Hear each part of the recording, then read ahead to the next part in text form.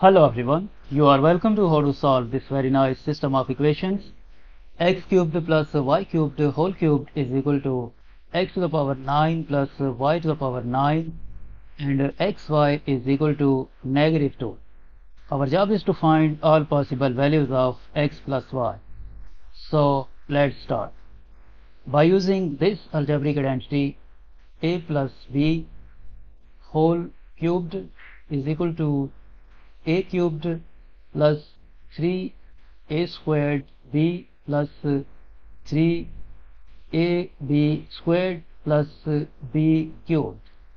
This x cubed plus y cubed whole cube will become x cubed whole cubed plus 3 times x cubed whole squared times y cubed plus 3 times x cubed times y cubed squared plus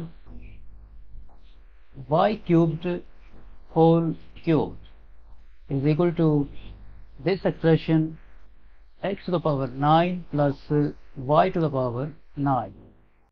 Now this will become x to the power 9 plus 3 times this x cubed whole squared will become x to the power 6 times y cubed plus 3 times this x cubed times this y cubed whole squared will become y to the power 6 plus this y cubed whole cubed will become y to the power 9 is equal to x to the power 9 plus uh, y to the power 9. Now we subtract x to the power 9 and uh, y to the power 9 from both sides.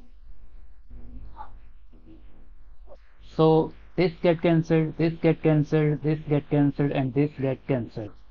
This equation will become 3 times x to the power 6 times y cubed plus 3 times x cubed y to the power 3 is equal to 0. Now from these two terms uh, we can factor out 3x cubed y cubed. In bracket left x cubed plus y cubed is equal to 0 and we divide both sides by 3 so this 3 will be out with this 3 and this equation will become x cubed times y cubed times x cubed plus y cubed is equal to 0 Now this x cubed y cubed can be written as xy whole cubed times x cubed plus y cubed is equal to 0. Now we replace this xy with this value of xy negative 2 x times y is equal to negative 2 so this will become negative 2 cubed times x cubed plus y cubed is equal to 0. And this negative 2 cubed will become negative 8 times x cubed plus y cubed is equal to 0. And we divide both sides by negative 8. So this negative 8 will be cancelled with this negative 8 and this equation will become x cubed plus y cubed is equal to 0. Now by using this algebraic identity a cubed plus b cubed is equal to a plus b times a squared minus ab plus b squared. This x cubed plus y cubed will become x plus y times x squared minus xy plus y squared is equal to 0.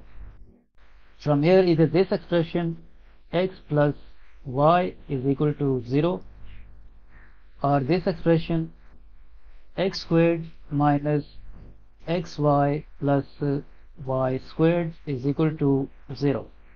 From this equation we get the first value of x plus y 0. This is the first solution of this equation. Now from this equation we replace this xy with this value of xy negative 2 x times y is equal to negative 2 so this will become x squared minus value of xy negative 2 plus y squared is equal to 0 next x squared negative times negative 2 will become plus 2 plus y squared is equal to 0 we subtract 2 from both sides. So this get cancelled and we get the value of x squared plus y squared is equal to negative 2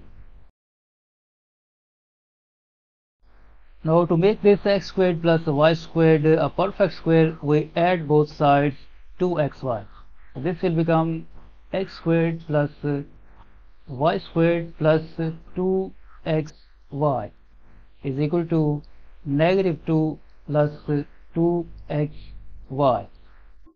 Now this will become x plus y whole squared is equal to negative 2 plus 2 times in place of this x times y we put this value of xy negative 2 value of xy is negative 2 next x plus y whole squared is equal to negative 2 plus 2 times negative 2 will become negative 4 next x plus y whole squared is equal to negative 6 and to find the values of x plus y we take square root of both sides.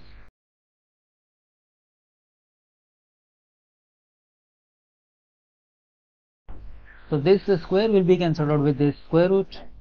And from here we get x plus y is equal to plus minus this square root of negative 6 can be written as root negative 1 times root 6 and uh, x plus y is equal to plus or minus this square root of negative 1 will become i times square root of 6 from here we get two values of x plus y.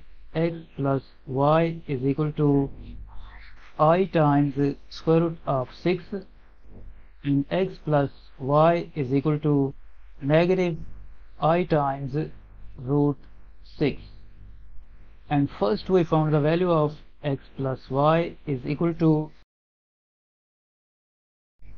First we found value of x plus y 0. First we found this value of x plus y 0. So we have three solutions of this equation. X plus y is equal to 0 and i times root 6 and negative i times root 6